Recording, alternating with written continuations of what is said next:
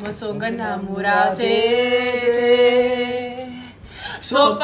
ते सोपासे Stai orando, tu fai più vicino, ma va su primo